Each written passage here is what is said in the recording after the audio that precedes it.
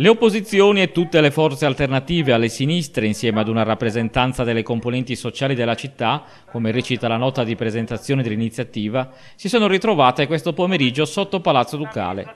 L'attività amministrativa è ferma per l'ennesima volta per giochi politici di potere, hanno spiegato i rappresentanti dei partiti e dei movimenti che sono intervenuti.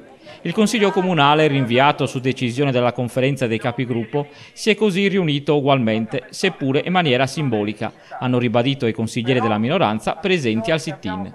La città è ostaggio di una maggioranza che è riuscita a unire forze politiche anche distanti, ma all'opposizione di questo sindaco e del Partito Democratico che governa Sassari da circa 15 anni, è stato detto. Il primo cittadino governi, ma non ci sarà nessun sostegno da parte dell'opposizione. Va evitato un commissario nominato da chi sta a Cagliari per governare per un anno senza consiglio comunale e senza giunta.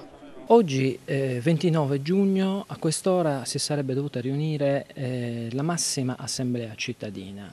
Eh, invece abbiamo assistito all'ennesima all sconvocazione, all'ennesimo rinvio.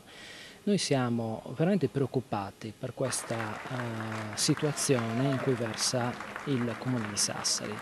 Eh, riteniamo assolutamente che il Partito Democratico in città eh, sia pesantemente responsabile, oltre che delle loro liti interne, soprattutto di tutti i danni che si stanno riverberando nei confronti della città. Ecco perché oggi abbiamo eh, fatto appello a, a, tutti i cittadini affinché si radunassero qui di fronte al Palazzo Lucale per protestare insieme a noi verso questa mancata tutela del, della città ma soprattutto, perché no, anche della minoranza che rappresenta una consistente parte della città all'interno del Consiglio Comunale.